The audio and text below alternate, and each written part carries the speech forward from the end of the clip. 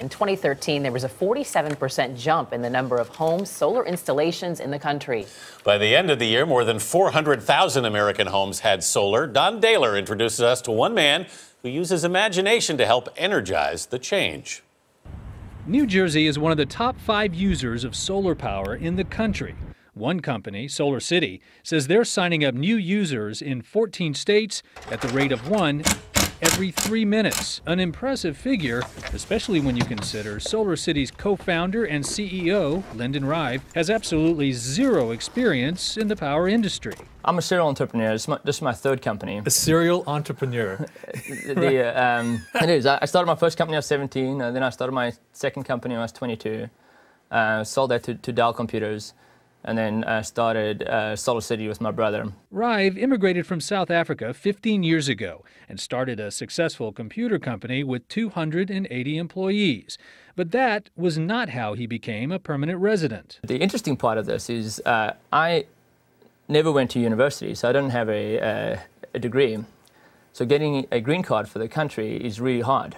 There are conditions that can be made for special individuals with special talents. Correct? Exactly. So um, both my wife and I uh, play underwater hockey. Well, hold on, you have to describe what underwater hockey is first. So, so, underwater hockey is you play with a mask, fin, snorkel, go down, hold your breath, play as long as you can. Before you run out of air, you give the puck to your buddy. Uh, you go up, get some air, and then come down and support your buddy. Wait, uh, you're not going to tell me that was your special talent? That's the special talent. Exceptional ability for underwater hockey, and that's how we, we got our green card. Solar City's business model is as different as its CEO. We install the solar system for free. There's no cost. There's no cost for the equipment, there's no cost for the installation, there's no cost for the warranty and the maintenance. And then what we sell them is the electricity. How is that not just trading one utility company for another? It is. It's exactly that.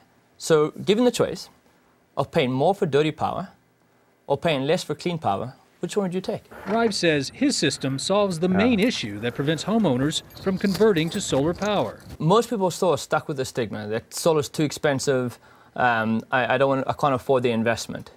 But when we tell them that there's no investment and you just save money and it's cleaner, the next reaction is, you know, what, what's the catch? What am I missing?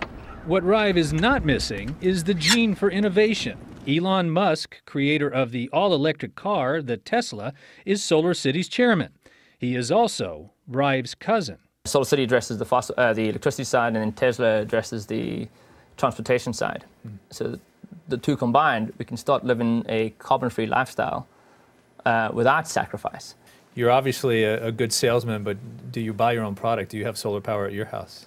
Absolutely, I have solar power at my house. I, I, I have a solar uh, system. I have an electric car. Does your electric vehicle happen to be a Tesla? It is a Tesla. Greatest car in the surprise. world. surprise, exactly. It was Musk who suggested Rive look into solar energy while the cousins were driving through the Nevada desert. For CBS This Morning Saturday, Don Dahler, New York.